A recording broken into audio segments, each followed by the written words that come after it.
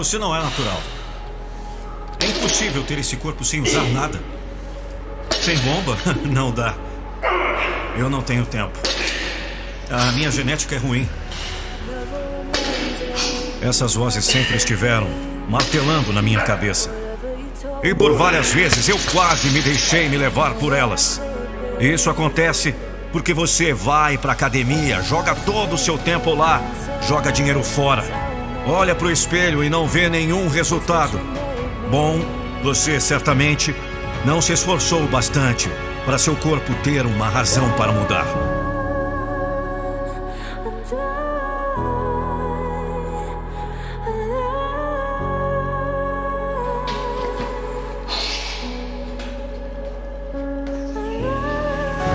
Preciso perceber que para conseguir algo temos que sentir a dor que jamais foi sentida antes.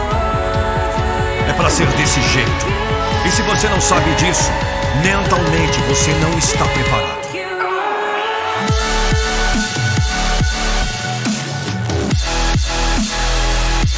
As pessoas me veem como sou hoje.